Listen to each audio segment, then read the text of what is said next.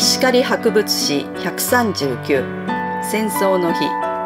広報石狩20159月号掲載。文石狩砂丘の風資料館工藤智恵学芸員。戦争の日とは主に戦勝記念か戦没者の慰霊を目的に建立された石碑のことです。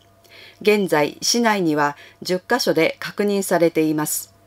ほとんどは先の大戦での戦没者を慰霊するものですが、古いものは日露戦争の戦死者を慰霊するものもあります。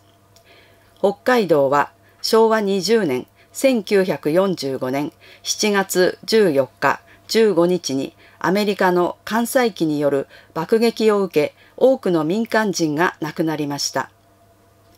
旧石狩地区では13人が熱田区毛来では11人が亡くなっています。熱田区毛来の平和記念碑には毛来地区で亡くなった方々の名前が刻まれています。石狩の各地には地元から出征し亡くなった方の名前を刻んだものがあります。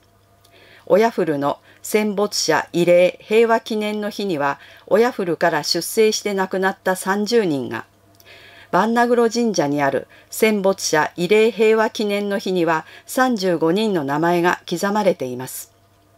石狩市全体で何人が戦場に赴き何人が帰らぬ人となったのか正確には把握できていませんが大切な人を失った悲しみは石碑に刻まれ戦後70年経った今も見ることができます。